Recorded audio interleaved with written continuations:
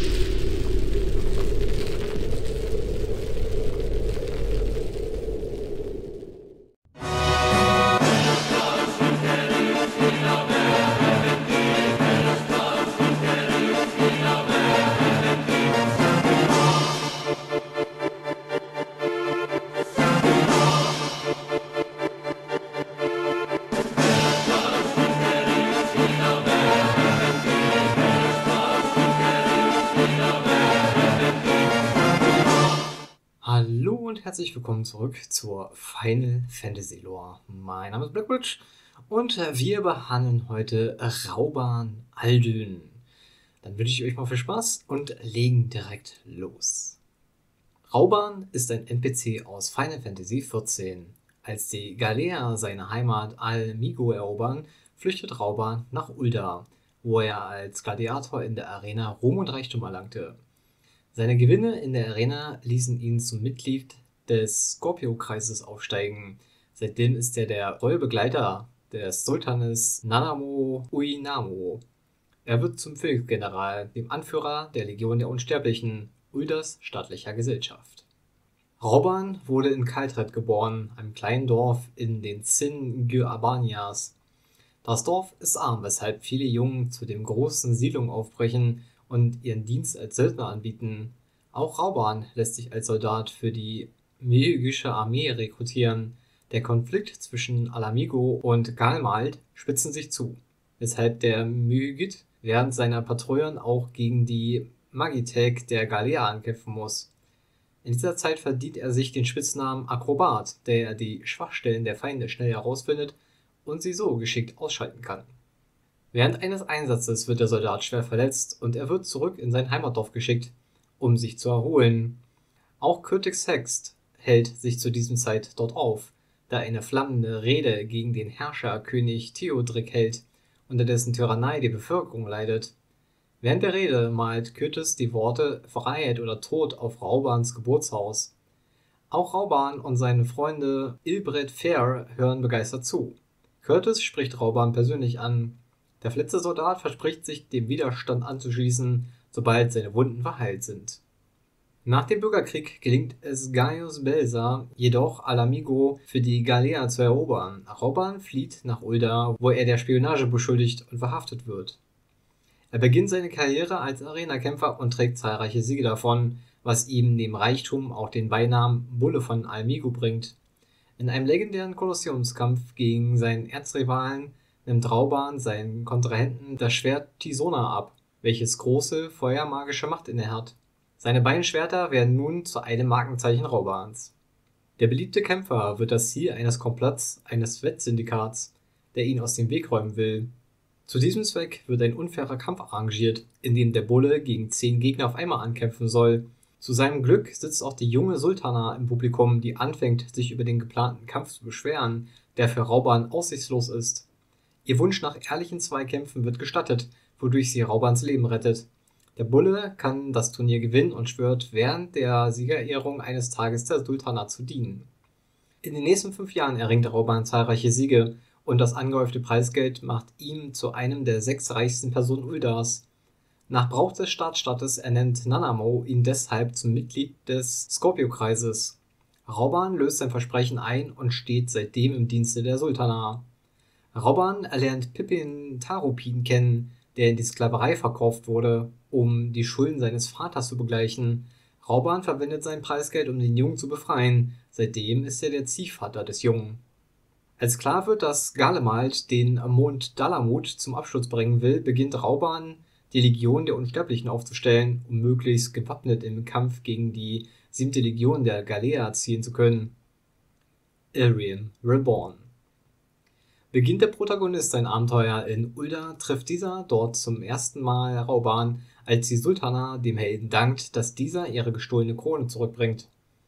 Wenn der Spieler später zu den einzelnen Stadtstaaten reist, um sich zum Beitritt in einer der drei staatlichen Gesellschaften Eoseras zu entscheiden, hält Rauban eine Rede, in der er auf die Lage Uldas eingeht. Nachdem Gaius Belsar die Ultima-Waffe verendet hat, stellt er den Völkern Eoseras ein Ultimatum Entweder sie unterwerfen sich Garlemald oder er nutzt die Waffe, um alles zu vernichten. Vertreter der drei Stadtstaaten Eoseras, darunter auch Rauban, treffen sich, um über ihre Antwort auf die Forderung zu grübeln. Sie ziehen eine Kapitulation in Erwägung, doch der Bund der Morgenröte trifft noch rechtzeitig ein, um sie davon abzuhalten und sich stattdessen zu widersetzen. Die Allianz entwickelt einen Plan, um die Ultima-Waffe zu zerstören. Rauban leitet dabei die Hauptoffensive auf die Festung der Galea Castrum Meridianum, in der sich auch die Waffe befindet. Der Plan geht auf und die Invasoren werden zurückgeschlagen. Als Yugiri in einem Boot mit mehreren Bewohnern aus ihrer von den Galeeren besetzten Heimat Doma flieht, landet sie in der Bucht des Abendsternes, unweit von Ulda.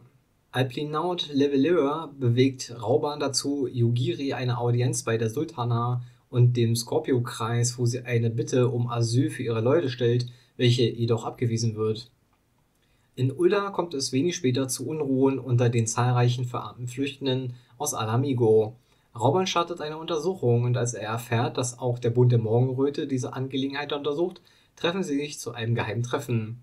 Die Untersuchungen haben ergeben, dass Tel Di Aledi dahinter steckt, um so einen Vorschlag zu forcieren, die Kartenauer Heide zu besiedeln, wo Taledi die mächtige allergische Waffe Omega bergen will.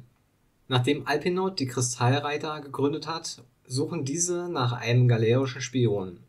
Da dieser in den Reihen der Legion der Unsterblichen vermutet wird, trifft sich Ilbert, nun Hauptmann der neuen gegründeten Truppe, mit seinem alten Freund Rauban.